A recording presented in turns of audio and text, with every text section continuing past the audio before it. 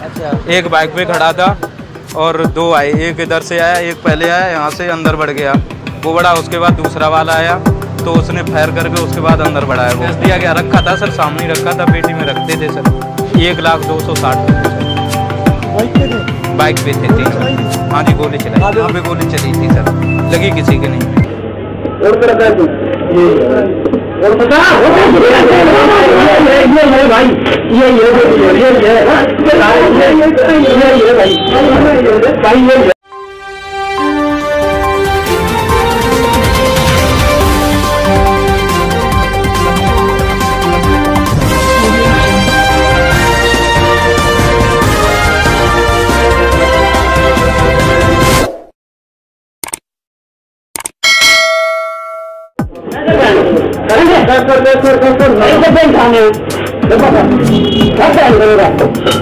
ये ये भाई भाई ये अरे बात क्या सारा और पैर और बता ये ये भाई ये ये ये ये सीसीटीवी में कैद हुए बदमाश एक लाख की लूट की वारदात को दिया अंजाम। घटना सोनीपत ज़िले के गाँव नाथुपुर की है। जिसमें बीती रात्रि तीन बाइक सवार अज्ञात युवकों ने शराब के ठेके को निशाना बनाया है और लूट की वारदात को अंजाम दिया है। लूट की पूरी घटना सीसीटीवी कैमरे में कैद हो गई है।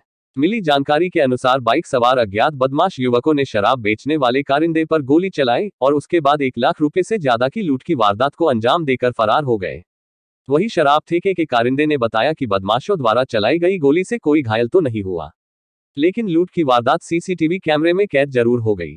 जिसकी सूचना पुलिस को दी गई। पुलिस टीम मौके पर पहुंचकर सीसीटीवी कैमरे की फुटेज के आधार पर जाँच कर रही है। यहाँ से दो बंदे थे। अच्छा। एक बाइक पे खड़ा था और दो आए। एक इधर से आया एक पहले आया यहाँ से अंदर बढ़ गया। वो बड़ा उसके बाद दूसरा वाला आया तो उसने फायर करके उसके बाद अंदर बढ़ाया वो।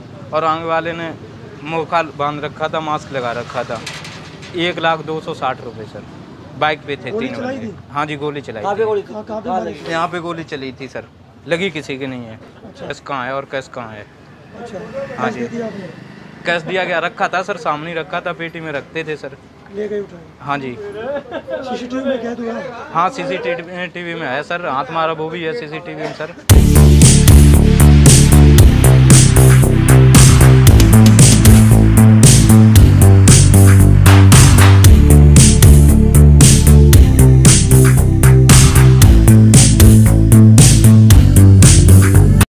लाइक शेयर सब्सक्राइब ज़रूर करें हमारे न्यूज़ चैनल हरियाणा लाइव 24 को।